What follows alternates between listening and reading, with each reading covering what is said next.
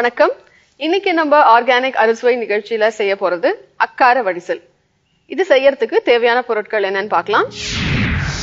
ஊற வைத்த பச்சரிசி பாசி பருப்பு காய்ச்சிய பால் பசும் நெய் வெல்லம் ஏலக்காய் தூள் முந்திரி உலர்ந்த திராட்சை. இந்த மாதிரி ஒரு பாத்திரத்துல ரைஸ் ஒரு ரெண்டு கப் எடுத்துக்கலாம்.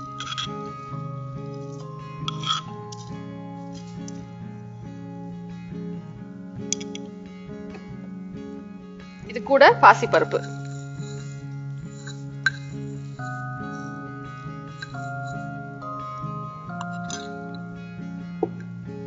இது ரெண்டும் ஃபர்ஸ்ட் வந்துட்டு வேக வைக்கிறதுக்கு தேவையான அளவு தண்ணீரும் எடுத்துக்கலாம்.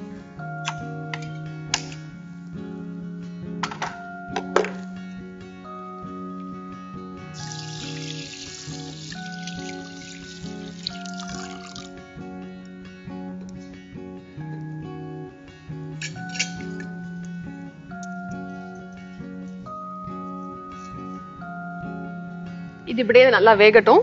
இப்போ அக்கார வடிசல் அப்படின்னா என்ன அப்படின்னு சொல்றேன். ஆஹ் நம்ம வீட்டில் சக்கரை பொங்கல் செய்கிறோம் இல்லையா? அக்கார வடிசல்ங்கிறது வந்துட்டு கிட்டத்தட்ட சக்கரை பொங்கல் மாதிரியே தான். பட் கூட நம்ம வந்துட்டு இதுல பால் சேர்த்துக்கிறதுனால அதுக்கு வேற பேர் அக்கார வடிசல் இது ரொம்ப ட்ரெடிஷ்னலான ஒரு டிஷ் நம்ம நிறைய சமைக்கிறோம் நம்ம வீட்டில் விதவிதமான டிஷ்ஷஸ் சமைக்கிறோம். புது புதுசான டிஷ்ஷஸ் சமைக்கிறோம். ஆனா இந்த அக்கார வடிசல் இந்த சக்கரை பொங்கல் இதெல்லாம் ரொம்ப ட்ரெடிஷ்னலான டிஷ்ஷஸ் இது எப்படி செய்யறது அப்படின்னு நம்ம வந்து கத்துக்கிறது ரொம்ப ரொம்ப முக்கியமான விஷயம். சோ அதனால இப்போ ஃபர்ஸ்ட் இதை நல்லா வேகட்டும். ஒரு அரை வாக்கு வெ- வெந்ததுக்கு அப்புறமா நம்ம அடுத்தது ஸ்டார்ட் பண்ணலாம். அதுக்குள்ள வெள்ளத்தை வந்துட்டு கொஞ்சம் நல்லா பொடிச்சுக்கிட்டு கொஞ்சமா அதை கரைச்சு வச்சுக்கலாம்.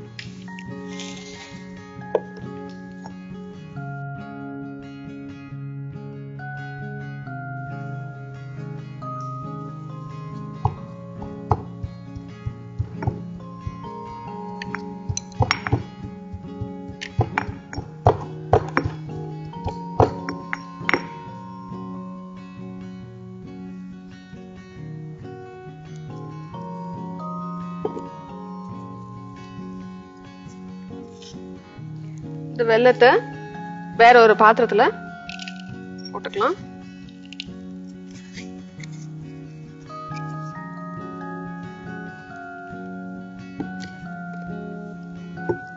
இப்போ இந்த வெல்லம் கரைக்கிறதுக்கு தேவையான அளவு தண்ணீர்.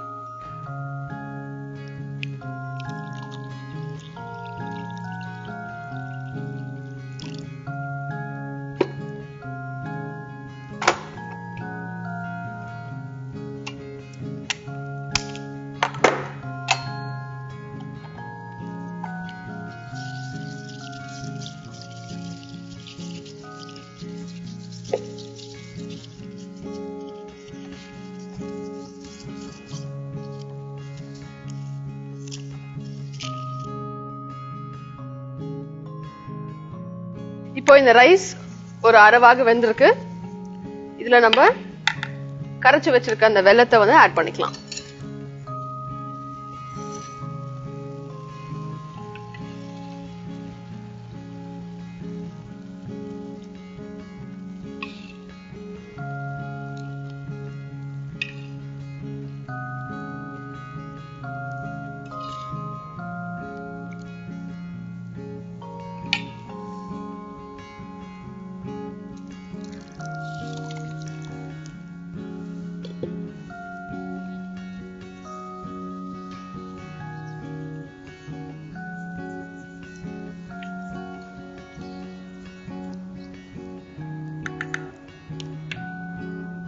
இது அப்படியே வேகட்டும். அதுக்குள்ள நம்ம இந்த பாத்திரத்துல கொஞ்சம் இந்த முந்திரியும் திராட்சையும் கொஞ்சம் வறுத்துக்கலாம்.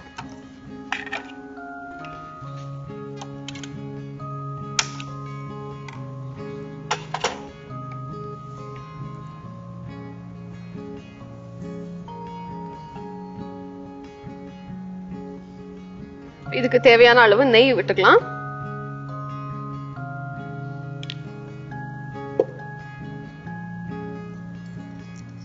இதுல உடைச்சு வச்சிருக்க முந்திரி.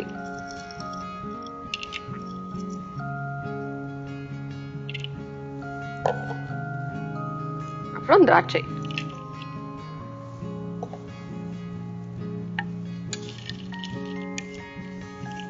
இது ரெண்டுமே வந்துட்டு ஒரு பொன் வர வரைக்கும் நல்லா ஃப்ரை பண்ணிக்கலாம். நம்ம சக்கரை பொங்கல் செய்யும் போது இப்போ இந்த ரைஸ் மிக்சர்ல நம்ம கொஞ்சமா பச்சை கற்பூரம் ஆட் பண்ணுவோம். அதே மாதிரி இதுக்கும் நம்ம பச்சை கற்பூரம் வேணும்னா ஆட் பண்ணிக்கலாம். ஆப்ஷனல்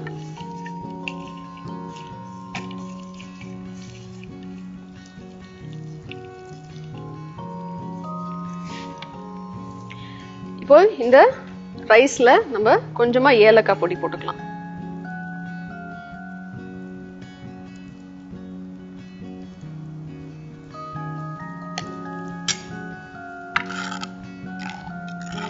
இது நல்லா வத்தணும். அந்த தண்ணி பூரா நல்லா வத்திட்டு ஒரு கொல கொலன்னு அந்த கன்சிஸ்டன்சி வரும்போது நம்ம இந்த திராட்சையும் முந்திரியும் அதுல சேர்த்துக்கலாம்.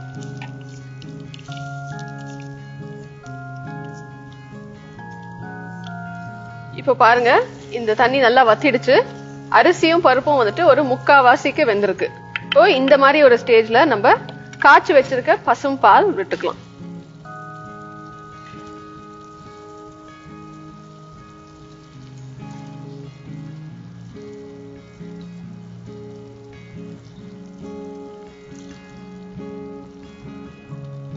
ஒரு மூணுல இருந்து நாலு கரண்டி அளவு விட்டுக்கலாம்.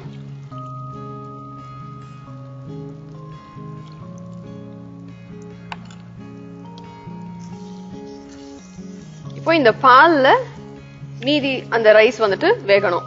ரைஸும் அந்த தாலும் நல்லா வேகணும்.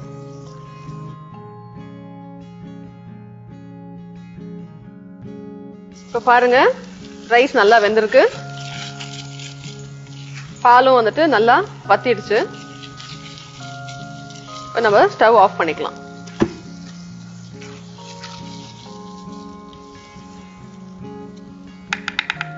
இதுல நம்ம நெய்யில் ஃப்ரை பண்ணி வச்சிருந்தோம் இல்லையா? ரைசன்ஸ் முந்திரி அதெல்லாம் ஆட் பண்ணிக்கலாம்.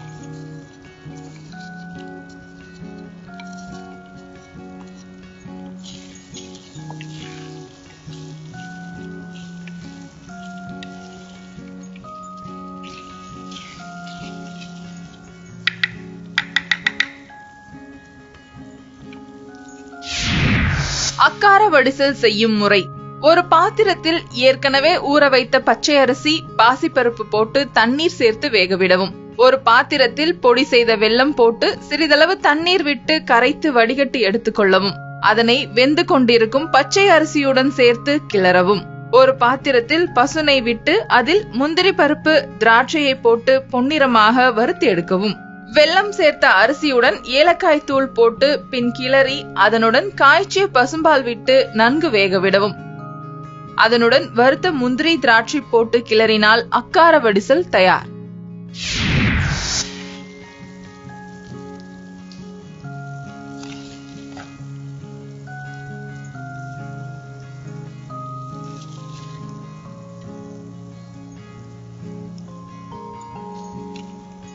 இப்போ சுவையான அக்கார வடிசல் ரெடி ஆயிடுச்சுங்க.